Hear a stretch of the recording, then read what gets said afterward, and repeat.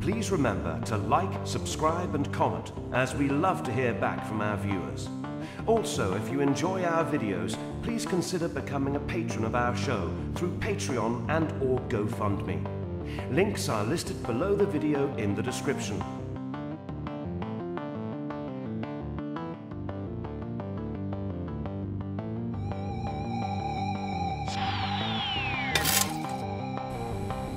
From the deepest, darkest recesses of Dangerous Nerds headquarters, Keith Moncrief and Gerry Kissell. Hey everyone, it's Gerry. and Keith, Welcome to Pop Culture Minefield. and it's a scary minefield. Uh, I uh, we already lost a couple of crew that were killed on the way in. No, they stepped on one of our mines. So, um, I guess what are we going to talk about today? We're going to talk about Marvel. Yes, That's the Marvel Day. Marvel Day. Marvel Day. Marvel Day. Well, it's it's it's gonna be. Uh, we're gonna start out with talking about J. Jonah Jameson. Yeah, because you know the word is you know that uh, that he's going to be in Far From Home at least in a small part. Yeah. because they denied that he was not going to be in it. A double negative. Sony, you. So, and the the the rumor going around is that they might gender flip the character and or maybe race flip the character. Wait, wait, wait, wait, wait! They're gonna flip him off. It's the double but no, I'm not gonna do it. I'm not, okay, I'm gonna do it. You're too nice. I'm a dick. So basically, they're talking about you know the rumors going around. Nobody's confirmed this. Nobody's even denied it that uh, they might gender flip or race flip the character. Which, you know, I got to be honest with you. They did it with Perry White Mhm. with Laurence Fishburne, which I thought was brilliant. He Yeah. was great as Yeah. that character, and but that's that's a character that race doesn't play a part in it. Whereas this character, it's a little different. And a lot of you might not know this because we've talked about it on the show before. Mhm. Is that J. Jonah Jameson is based on a real person, and that real person is Stan the Manly. Yep. That is uh, the artist's nod. And I'm trying to remember that was John Steve- Ram- Steve, Steve Ditko. Ditko. That was it. Steve Because Peter Parker was based on Steve Ditko. The way himself. That's right. The way he looked, because there's photos of him. That's Yeah, right. in high school. Little round glasses, little oval glasses. Several people around the Marvel offices were the basis for a lot of the characters when Spider-Man first started. That's right. And so Stan Lee is gone now. We've lost him, and I consider it really in bad taste to try to change that character for whatever woke reason that they want to do it. Uh, don't touch that character. You can do that with other characters. You don't do it with Stan Lee. Stan Lee is the reason we have so much of this cool stuff. Yes, Jack Kirby and all those guys, Steve Ditko, John Romita Sr., all those guys played a huge part in what we enjoy today. But the fact is, is right at the center of that was Stan Lee. He was at the center of almost everything. Well, He's the ringmaster. Yeah. And therefore, J. Jonah Jameson needs to be left the hell alone. And he should always, I mean, the best version, whether it be in cartoon or live action, has always been, because there was one live action version, was the TV series back in, Mhm. in the 70s. Uh, this iteration, single greatest, was uh, J.K. Simmons. Yeah. And, but Academy getting- Award winner. Yeah. J.K. Simmons. and don't get me wrong, uh, a lot of fans want him back. I would love to see him back, but is he in for the long haul? Because we've got another 10 years on this show, and he's Mhm. already in his 60s. yeah. So they're wanting, you know, I'm sure, and this is what's been uh, talked about, is that they're looking for somebody in their 40s. Yeah. And he had some great ideas. Oh, I, I came up with an idea to, to use actor Adrian Pasdar. And it took me a minute. I'm like, I know that name. I know that freaking name. Where do I know that name? And then he said Heroes, and I went, I know, yes. And he Mhm. was in Agents of S.H.I.E.L.D. Agents of Shield also, and he would make a very, very, very good J. Jonah. He has the posture, the eyebrows, uh, the, the, the long face. And, He has everything. He's even he even wears a crew cut now. Yeah, he looks good in a crew cut, too. a military cut. Not everybody looks good in a Yeah. crew cut, military cut. You know, I was in the army. I looked really like Uncle Fester. Hey, Gomez! I remember standing in the mirror, just rubbing my bald head, and and there was like two hundred other guys in this giant mirror, all looking at each other, rubbing our all, all of us rubbing our heads, and and then I just perked up and I said, "Hey, Gomez!" And everybody cracked up laughing because I really did look like Uncle Fester with the dark rings under the eyes, everything. But anyway, so uh, we've got that, and I agree with you. I think Pasdar would be perfect for it. He's already part of uh, the universe, playing other characters, and they seem to like to use actors who have already been in other stuff, so they they know they love the universe and and they love working with Marvel. Yeah, so and, and Sony Sony's looking for any help. yeah, Sony's in trouble. Sony has um, done the stupid thing, and uh, they're Well, we talked about it. yeah, we- I talked about it. I said, look, when the news came out that there could be the possibility that Sony could get the character back, I, I my thought was, no, they- they'll take the character back. they're not going to take it back. Yeah. It's there's no question about it. We've we already see what they're doing. Uh, they want to have their pocket again of their version of Marvel. They're going to have uh, their Spider-Man working with Venom. Well, it's not just that. I, I really do think it's going to go further than that. I think what they're going to end up doing is they're not only going to have the Sinister Six, they're going to go ahead and just unleash all of it. So we're going to get Jessica Drew.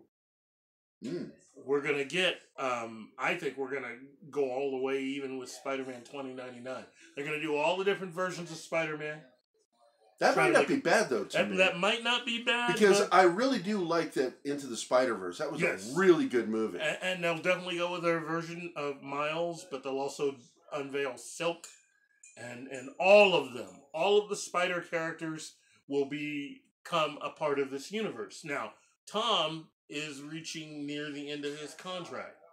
Rather than let him go because he is so good, if you keep him and introduce other characters like Miles, like Jessica Drew, and others, it allows you to hang on to Tom and everyone else. Now, Right. you're going to have to pay him more money, but ultimately, uh, uh, that's a direction that will allow Sony to have their own Avengers type universe with all these Spider-Man, well, versions of Spider, Spider heroes Right. versus all of the Spider-Man villains and villains that come with them. I And mean, they have their little war. Yeah, yeah. So there you go. There, there you go. He just summed up basically what Sony's probably going to do. So, but uh, with Hey, that, yeah, uh, with that, we'll move on to uh, Iron Man Four. And uh, is that a possible thing? Uh, basically, uh, uh, a couple of the websites were talking about that uh, it was said by Jon Favreau that he did talk with Kevin Feige Mhm. about uh, an Iron Man 4. Uh, there was originally um, uh, a seed for that in the Avengers Mhm. Endgame Mhm. that uh, there was a potential possibility they could bring back Tony Stark. Yeah. I I'm not sure what that seed was, but I'm guessing that. Uh, uh, what do you think it had to do with one of the I, I, stones? I think it had to do with uh, my personal view would be a hologram. oh, you think? The new Jarvis would be Tony. Oh, that would be interesting. So there's all this. A lot of things are open. Um, I don't know where they're going to go with it. I would like to see another Iron Man film. Yeah, See how they handle it. Jon Favreau, I love Jon. He's absolutely one of my favorite people. you, I've been a fan of his since 1996. Yeah. And I've loved everything he's done since 96. And I trust him because he's a big old nerd. I think you let him do whatever he wants. If he comes to you, you know, you with an Iron Man four, then I think he's at least earned, in my opinion, enough to be able to do that. Yeah, I So- agree. So um, I, I'm curious to see what they do, uh, if anything even comes from it. Yeah. So, but this leads us into the next section, which is uh, the the Marvel Disney World. Uh, Disney has their Disney Plus coming out in November on Yeah. November twelfth. Yeah. But they just announced today they took full control of Hulu. And who did they pay off again for that? Oh yeah, Comcast. Comcast always seems to get. We've talked about Comcast and China because Comcast and China they want to be part of this thing. Yeah. Okay, and uh, because what we've seen, the landscape of TV entertainment, or what we call TV, hmm is changing. It's Quickly. evolving, and Quickly. it's not going to be the TV. We'll say TV, and it really isn't what it is anymore. hmm Uh, we're we're seeing this huge change with the streaming services, and uh, Amazon got smart. They're ahead of the game by allowing you to get all a lot of those services through them, Yep. which they are now kind of a version of MediaCom or Cox Mhm. Cable. Uh, so all you need is internet. Yeah. And you can get your entertainment through Amazon and you can get Hulu and all these things. Now Hulu Hulu was kind of shitty for a while. They kind of they, they were hit and miss and they Yeah. didn't have as big a hits as like Netflix or Amazon. Yeah. Uh, Amazon has put tons of money in. They've got deep, deep pockets. Not Disney deep, but they're deep. And uh, and this will lead up to another thing that we're going to be talking about in another episode, Yeah. uh, which is the Star Trek. Uh, all we're going to talk about is Star Trek and the implications of Amazon. But Amazon has deep pockets. Now, Disney has Hulu. So Hulu already has a subscriber base. That's why Disney got- wanted it. They already had a stock in it, hmm but they wanted that because that's something to build off of. Yeah. So, what do you think? What, what, what are your thoughts Well, on uh, this? uh, my thought is this, though. Uh, the only thing I would say about that would be, you know, they they already have their own service with with Disney Plus coming. To have Hulu, uh, while they could use that for some of their non, um, from some of the non uh, uh, uh, uh, entertainment offerings that aren't really Disney Plus offerings, but they could get away with R-rated stuff and a few other things. While Because that's what I saw. Yeah, I agree with you on while, that. while a good idea, what you're doing is is that you're you're you're causing people then to spend more money. And my thought is that uh, really the the important part of this story is this is another story of Comcast getting more money out of Disney and using it to propel themselves and prop themselves up further. because they're going to buy somebody, and, and I think. Well, I don't even think they have it to. before. Yeah, I don't even think I they think they're going to. Tr- I think they're going to take over CBS. I really think that that's They're going to next try. goal. I don't think they'll be allowed to because they already own NBC. That's right. I forgot about that. Uh, they don't need to. So then China's the only one left to save CBS. yeah, it, it, it, what Comcast is is it's it's NBC, and it's also Universal, and them. So that right there, that's their own streaming service. But but but remember how we got to this point was Comcast was the one that a year ago helped to bump up how much Disney had to pay in order to get Fox. Why? Because Comcast ended up buying That's right. Yeah. buying the British station, I think it was ITV, is what they wanted. And that was something that Bob Iger personally wanted because they wanted to extend the Disney brand overseas. And Comcast took it. So now they have a foot in the British market with all of the stuff that they got.